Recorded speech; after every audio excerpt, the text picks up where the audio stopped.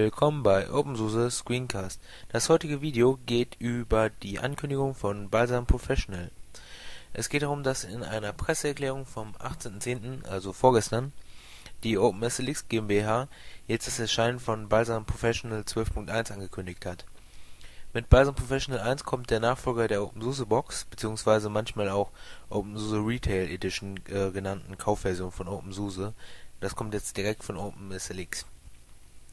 Also in vorigen Videos habe ich ja bereits über die OpenSLX GmbH geredet, habt ihr euch vorgestellt, zum Beispiel in dem Video über die neue Community-Plattform äh, OpenSUSE Users.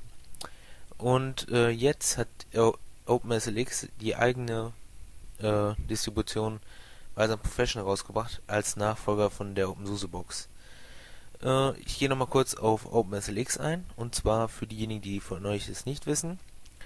Die OpenSLX GmbH äh, steht seit 2009 hinter der OpenSUSE Box. Damals hat nämlich Novell und das OpenSUSE Projekt die Produktion eingestellt von der OpenSUSE Box und an OpenSLX übergeben. Also für die Interessierten, die OpenSLX GmbH ist eine privat gehaltene Firma mit Sitz in Nürnberg. Vorsitzender davon ist Stefan Werden.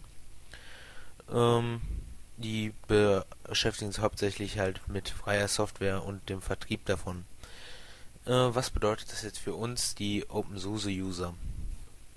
Direkt sind wir, die OpenSUSE-Nutzer, davon nicht betroffen, aber äh, Stefan Werden schreibt in der Presseerklärung, die Käufer unseres Produktes erwarten zu Recht für ihr Geld eine signif einen signifikanten Mehrwert gegenüber frei verfügbaren Versionen.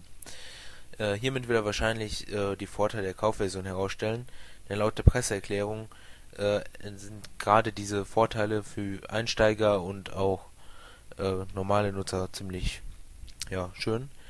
Zum Beispiel die 90 Tage Installationssupport für äh, Telefon, E-Mail und Chat. Also 90 Tage Installationssupport. In 90 Tagen könnt ihr, wenn ihr die Version gekauft habt, die Box äh, über Telefon, E-Mail und Chat mit äh, OpenSLX Kontakt aufnehmen. Und wenn ihr Probleme habt, darüber äh, berichten und die helfen euch dann. Der Vorteil gegenüber Foren ist einfach der, dass man dort äh, privater ist ja, weiterhin äh, schreibt, wird auch noch geschrieben in der Presseerklärung, dass zum Beispiel kommerzielle Software enthalten ist, die normalerweise nicht drin ist. Darunter ist zum Beispiel der Flash Player, die proprietären äh, Grafiktreiber, Adobe Reader, Opera ist drinnen, äh, Moneyplex, weiß ich jetzt nicht genau was das ist, äh, das Antivirenprogramm Antivir, naja, sehr sinnvoll unter Linux ist nicht gerade, und äh, Spider Oak Online Backup, die sind alle schon auf der DVD enthalten. Und weiter steht auch noch in der Presseerklärung, dass Updates direkt von den OpenSLX-Servern kommen und äh, eventuell sogar schneller als auf die OpenSUSE-Server. Natürlich kann man auch OpenSUSE-Repositories einbinden statt OpenSLX. Äh, ja, weiter wird in der Presseerklärung auf die großen Unterschiede eingegangen. So wird der Linux-Kernel erstmals als Version 3.1 enthalten sein weiter steht dann auch noch 3600 Updates, Performance-Verbesserungen und natürlich auch Plasma Active One, also das Thema der letzten Tage, äh, wird enthalten sein. Denn äh, mit Plasma Active One ist erstmals eine speziell auf Touchscreen-Monitore ausgerichtete Oberfläche enthalten. In der aktuellen Version für Tablet-Computer und Hybrid-Notebooks, äh, also Netbooks, äh, so, aber sollte auch schon für äh, mobile Geräte verfügbar sein. Das bedeutet jetzt so viel, als dass ähm, Plasma Active One könnt ihr euch so vorstellen wie eine Oberfläche, die halt speziell darauf äh, ausgerichtet ist, wie schon gesagt. Stellt euch vor wie Android oder andere Systeme. Aber das Ganze halt als OpenSUSE im Hintergrund. Ihr nutzt dann also praktisch OpenSUSE auf eurem Retab oder auch anderem Tablet-PC. Ähm, was ist jetzt noch besonders an der äh, Kaufversion? Wie auch in der Mitteilung geschrieben, also in der Presseerklärung ist mit Balsam Professional 12.1 das erste Mal eine Box komplett aus der Hand von OpenSLX. Also das lässt sich äh, schon durch den neuen Namen erahnen.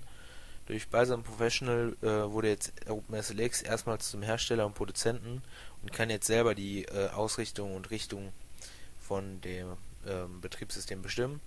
So lässt, äh, also, so lässt sich auch in der Mitteilung ganz klar die neue Ausrichtung auf mobile Geräte sehen.